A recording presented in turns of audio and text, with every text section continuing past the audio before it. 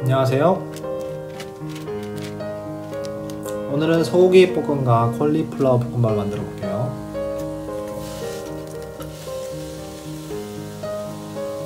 냉동 콜리플라워를 올려주시기 전에 상온에서 미리 녹이시거나 전자레인지에 1, 2분 정도 녹여줍니다.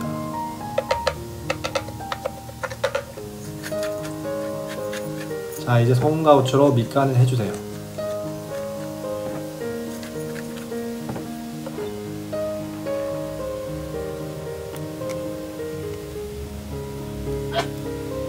커리 파우더로 풍미와 색깔을 주겠습니다.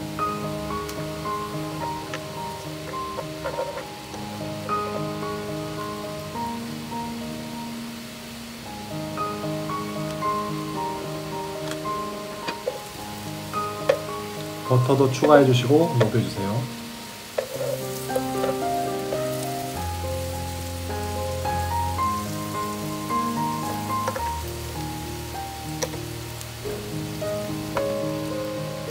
신선한 계란도 넣을게요.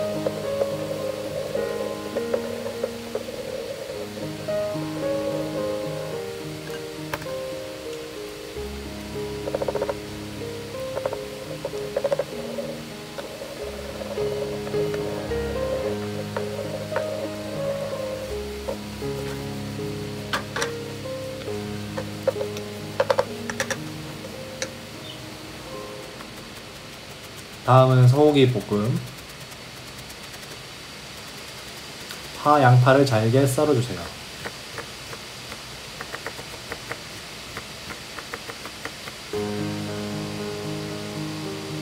올리브 오일을 두르고 야채를 볶아주세요.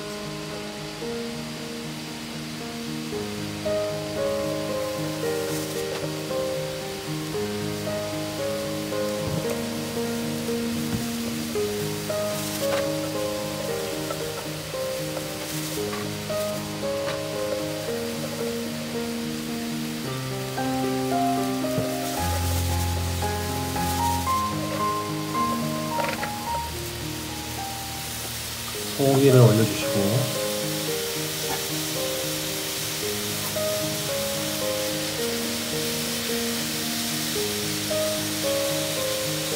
소금과 후추로 간을 해주세요.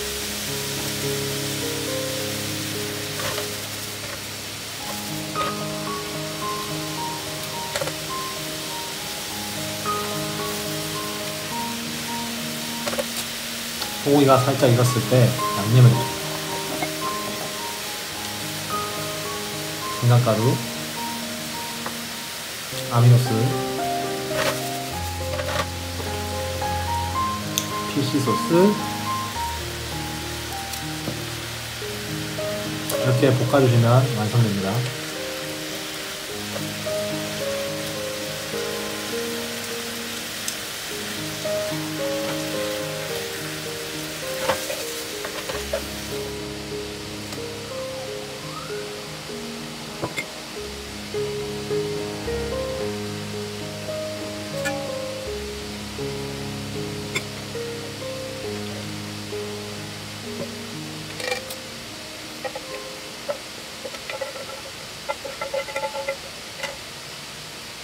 취향에 따라 고수도 추가해주세요.